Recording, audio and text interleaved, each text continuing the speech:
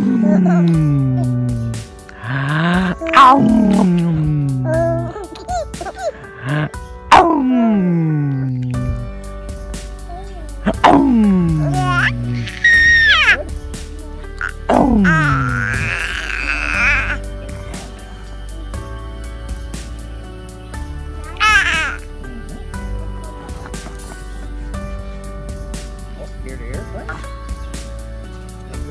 put it on so he doesn't get burned.